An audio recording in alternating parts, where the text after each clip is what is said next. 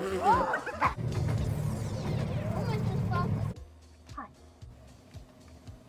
I'm gonna do a voiceover for this video, but I wanted to like talk first.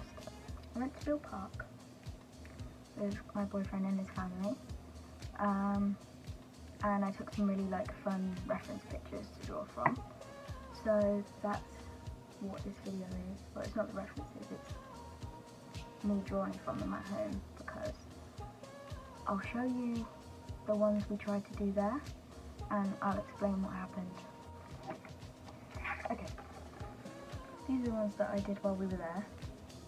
This peacock made us fall off a bench. Basically, we were sat on one of those benches with a table, we both sat on the same side. I had my sketchbook on the table, drawing, and this peacock came under the table, and we both leaned back to look, and the table fell on us. So, yeah, I didn't get very far with drawing actually at the park, so I decided to paint with gouache when I got home because I prefer painting, and after that I was just traumatised, to be honest.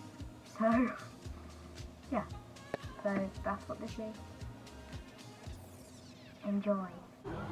Okay, so I took a lot of videos at the actual park, um, but they do kind of fizzle out towards the end. But uh, right now I'm sketching a tortoise. Uh, I got some really cool pictures of them, but I didn't actually take any videos. Um, I love meerkats. Um, so this is from a picture I took, but I don't have any videos of them. Look at him.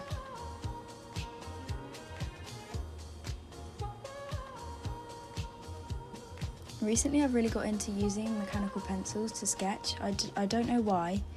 They just make me more precise with what I'm doing. And here I'm just putting in the, the base yellow. I think I forgot to film the rest of this. Yeah, I did. Good job. Uh, so that's the finished one for that.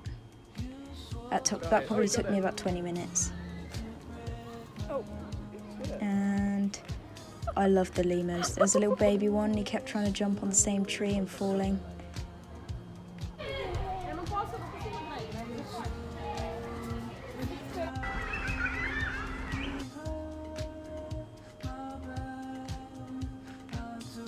This is my sketch, and then I forgot to film the lemur as well, which is clever. Uh, and here's a little piggy. Um, I had to draw him because he was just so sleepy. Um, I just thought he looked really cute with his eye closed because you can't really see his eye because his face is so like fat and hairy. So this is just a sketch for that. There's not really much more I can say about that really.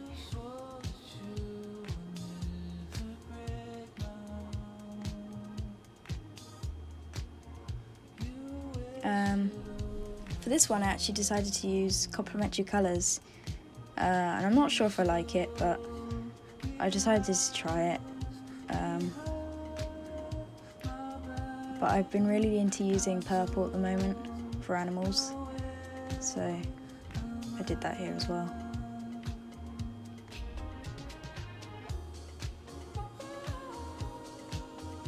I actually really struggled with this pig. I don't know why. I just couldn't figure out where to put the lines for the hair because they're not like completely furry. Oh, you can probably hear my dog.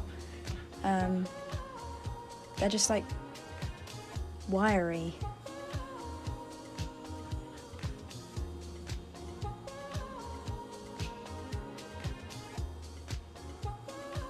So at this point, I'm just adding in the highlights really, filling in the floor.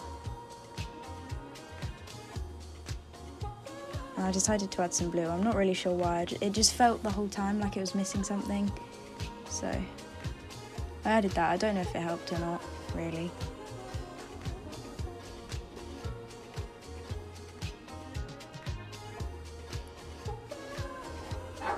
My dog's just barking. Be quiet. More highlights. These are blue again. I don't know why. I felt like the blue would help, but I just kept doing it. And now I'm just adding in a background colour because I always like to do that. Don't know why.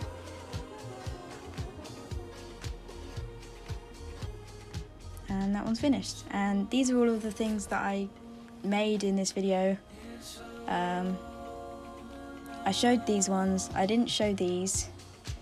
Uh, they're just sketches, so yeah. Thanks for watching.